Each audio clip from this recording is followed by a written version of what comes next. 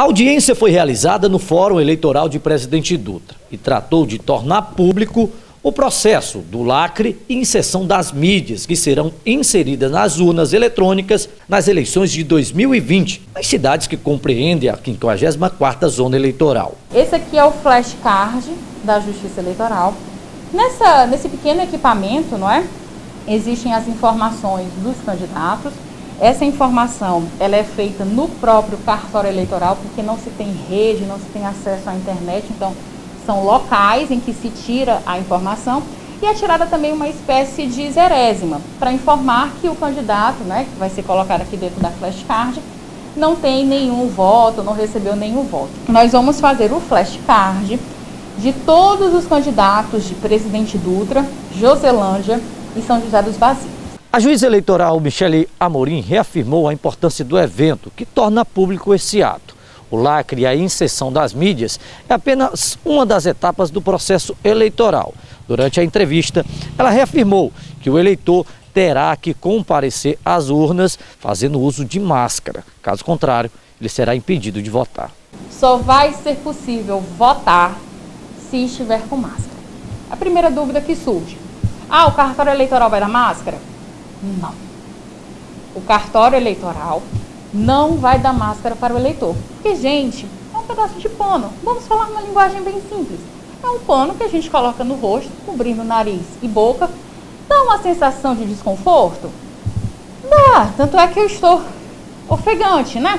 Vez por outra embaça o óculos, aquela coisa toda, não é? Não é normal isso? A gente não conhece mais as pessoas, tá todo mundo de máscara, não consegue dar um abraço, um beijo. Mas isso é uma questão de saúde pública. Então, quem não estiver de máscara vai ser convidado de forma elegante a sair da sessão. Ou põe a máscara para votar, ou então não vota. Essa é o reclame primeiro da Justiça Eleitoral.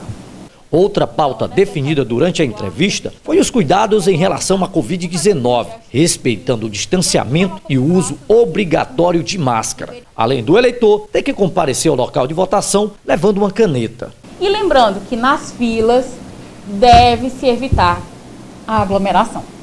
Então é necessário que a gente guarde a distância regulamentar. Vou fazer aqui um gesto muito simples. Então a gente coloca os braços assim e verifica se a gente está distante o suficiente. Outro esclarecimento foi em relação aos documentos válidos no dia da votação e a prioridade de cada eleitor. No segundo momento, que nós sempre pedimos, é que o horário de votação ele se inicia das 7 horas da manhã e vai até às 17 horas.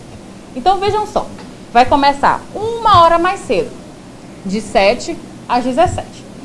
Esse período de 7 horas até 10 horas da manhã é para uma faixa preferencial. O que é que significa isso? Aquelas pessoas que são idosas, aquelas pessoas que têm alguma doença, podem votar neste horário preferencial. Após a entrevista, a chefe de cartório explicou o início do processo, criando a zerésima do sistema e os relatórios de candidatos e eleitores. Todo o processo foi acompanhado por advogados e representantes dos partidos. No final da entrevista, a juíza aproveitou para informar que a divulgação do resultado das eleições acontecerá na Praça do Colégio Teresa de Oliveira. Lembrando que no dia 15 de novembro, diferentemente dos outros anos, toda a parte de divulgação dos resultados vai ser feito no Colégio Teresa de Oliveira. Então, aqueles correligionários, aquelas pessoas que precisem realmente estar acompanhando o pleito, se dirijam para o Colégio Teresa de Oliveira, porque aqui no cartório eleitoral nós vamos ficar com um número limitado de pessoas a fim de que a gente possa dar mais rapidamente os resultados. Então é muito importante que a gente fixe essa ideia. Após as 5 horas da tarde, as urnas começam a chegar aqui no cartório, mas toda a divulgação é feita no Tereza de Oliveira. Então eu peço para que aqueles que querem acompanhar, vai ter o telão, tudo direitinho, se direcione ao Colégio Tereza de Oliveira e deixe aqui o cartório que a gente possa organizar da melhor forma possível.